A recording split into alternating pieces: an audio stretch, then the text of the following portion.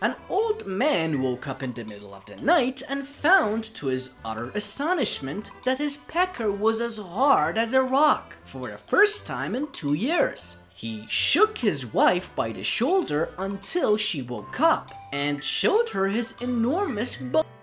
Check this out, he happily exclaimed. What do you think we should do with it? With one eye open, his wife replied, Well, now that you've got all the wrinkles out, it would be a good time to wash it.